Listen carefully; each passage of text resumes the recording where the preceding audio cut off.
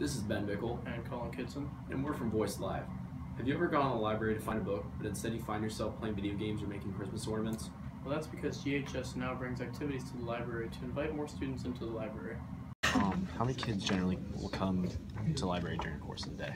um, during the day. So we do sign-in sheets, and there's 37 per side, and we do both sides plus one. So 37 times three, 40 times three. Nice. Um, how many kids usually come in for like a book? Oh, I don't, I don't know uh, to break it down. Most of the students that come in come in for computers. Um, what has been like the most attracted activity so far in the library this year? Probably the Wii.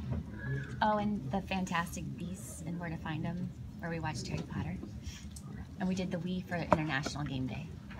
That's what. it was. What is your What was your favorite? Fantastic Beasts, watching Harry Potter, doing the Harry Potter trivia and coloring. I think this helps kids want to pick up a book and read some more? I, I hope so. I mean, it gets them in here. They see I have books on display, new books. So that's the that's the goal. Next time you go to the library during your study hall, double check if there's something going on. Whether it's video games or little art projects, these activities help bring kids together in the library.